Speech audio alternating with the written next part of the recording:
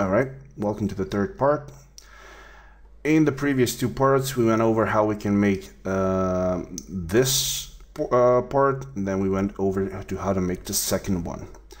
Now, we're to try to tackle on something like this. So, this is not very complicated, though if you haven't done it before, it can pose a challenge. So, just like we went in the first part, if you haven't watched that one, I would recommend you start there. We're just gonna trace out one line that's going to basically tell us exactly what kind of a shape we want to have for our portion here. So bear with me. I'm gonna click it here. I click here. I don't have to be overly exact on where I'm placing these lines because I'm basically going to change it as soon as I'm done with it. So something like this and close it at the middle. So now, again, I'm gonna go over and slap on a lathe modifier. Just like with the previous parts, we're gonna click on the min or the minimum. And now in the line uh, select vertex selection, control A to select all the vertices, right click Bezier corner. Now I have much better control over how I want my line to look like. There we go. Now let's try and just follow the line and see how it's going to go. There we go very closely still something like this. If you spend just a bit more time trying to trace the outlines I'm sure you're gonna get a much closer result. But for this video I just want to go over and get an estimate or roughly similar shape to what I'm seeing. So I don't care way too much about how it's gonna look like. So something like here. Just get this closer to follow. Thing is, I wanna get a smoother transition because otherwise we're gonna get there we go no jaggeding there all right this is okay both of these can go with the fillet or the chamfer. So I'm going to try with a fillet to get a wider effect like this. Another one here. And I'm going to leave this for now like this. Just maybe fillet both of these so I get a rounder edge. And another one over here. So you're get basically getting the idea. I'm just trying to achieve a closer result like this. So now when I drop on dropping the lathe modifier, I get something like this. So for now, I'm just gonna put it on the side. All right. See, this is why I didn't want to put an actual vertex in here. So let's see if I can go ahead and make this smooth. Oh no. Hmm all right I'm gonna try and delete and maybe get this by just moving those two. There we go something like this. Should work. Yep now we no longer have that issue in the middle. All right so what we need to do here is first thing is we need to know how many of these ridges we have here so I'm not sure as to how many of them are there, but I'm gonna try 32 and see how that looks. Mm, 24. All right, let's go with 24. I'm not sure if it's 24, but just for sakes of this video, let's go with 24 and see how this thing is going to work. Now, if we drop in a turbo smooth, we're gonna get something like this, which is fairly close to this, but we need this bit of information here. So these ridges. So how are we going to uh, retain those ridges or how are we going to make those ridges? So for now, I'm going to delete the turbo smooth and on top of the lathe modifier, I'm going to drop in an edit poly. All right, so this is what I want to do. I want to select one of these or before I do anything else, I'm going to go over to hierarchy, affect pivot and center to object. So I want to have my pivot in the center. That's very important for this uh, way of working. So and again, go over here, uh, select one of the edges and ring it or just Alt R. So you can just either click on one of the edges and click ring. This is going to select all the ring here. So what I want to do here is control click on the polygon. So hold on control and click on polygon. This is going to select and keep all of the polygons along that line. So the first thing I want to do before I do this is I can see that the color of my selection is a bit vague. That means the lathe normals are a bit off. So I have to click on that flip normals go back to edit poly. Now everything is fine. So what I want to do here is I want to invert my selection so I can press Control I and delete. So basically what I did here is I deleted everything except this little stripe of geometry. Now the reason for doing this is basically because I want to select like all of the polygons along this line down to about here.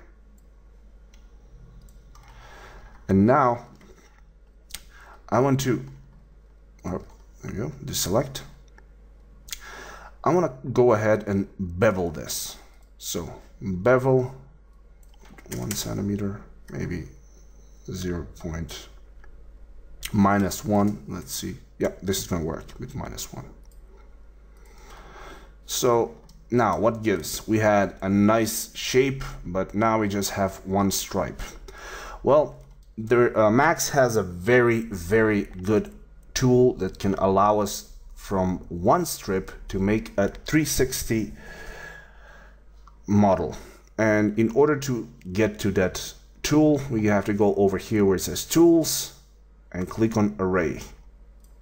So if this is the first time you are accessing Array, the way it works is basically it has three options or three uh, ways that it can work. It can move things, it can rotate them, and it can scale them. On this side, it's basically you're telling it to go in increments, while in this side, it's getting in totals.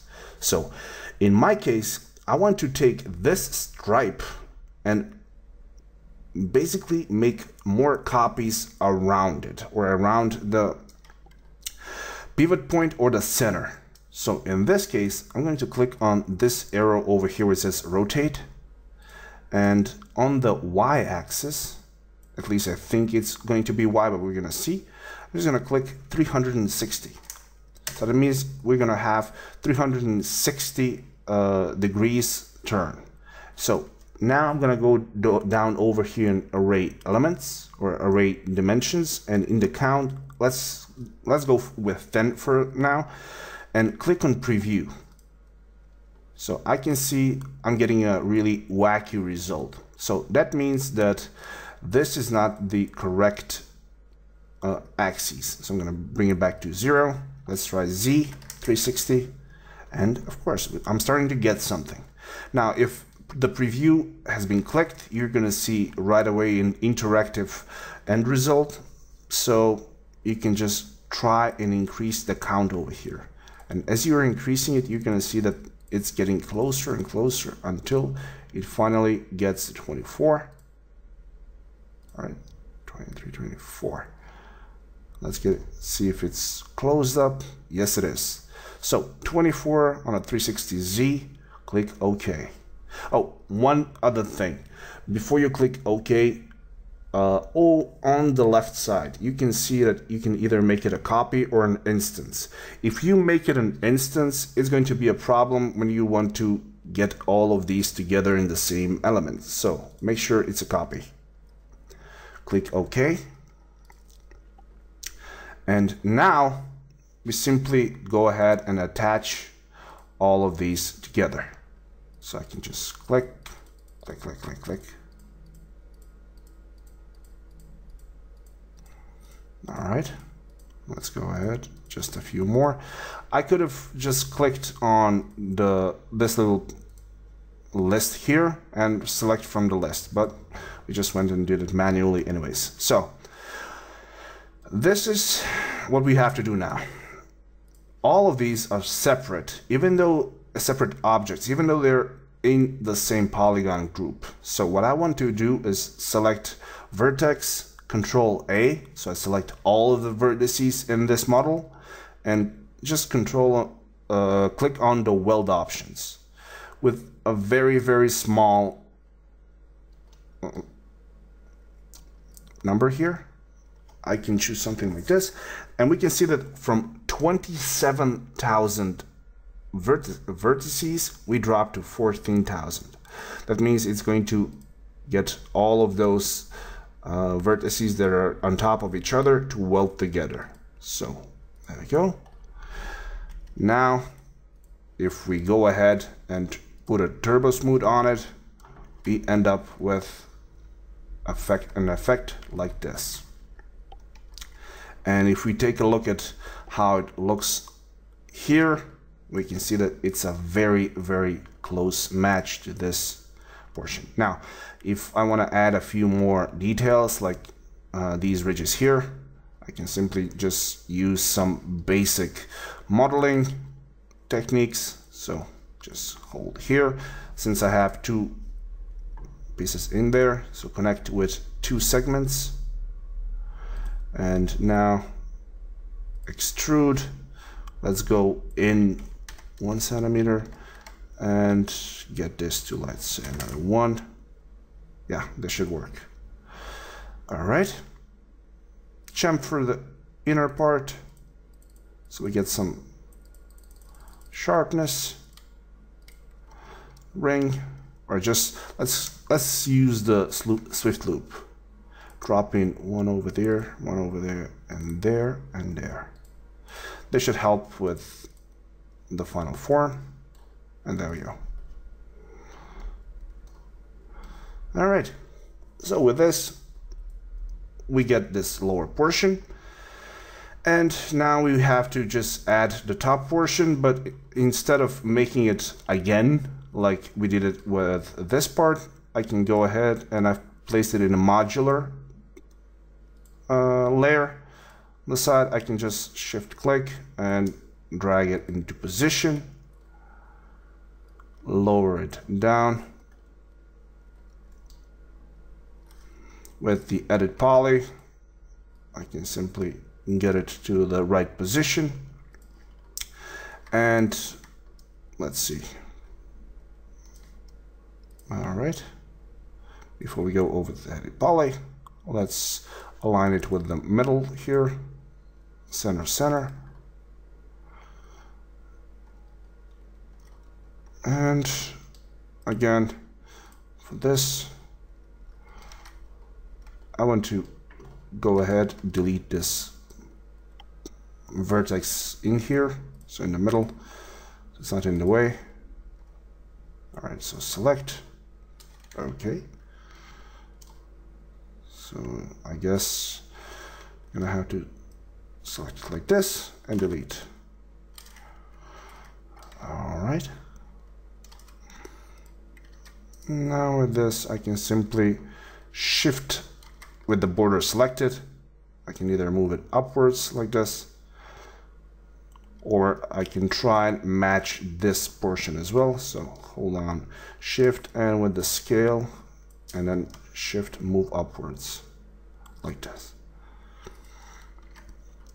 Since we added and we want to retain this bit of information, to keep it from the turbo smooth, we just add in a few more extra edges one here and here and here and here. And with this, there we go.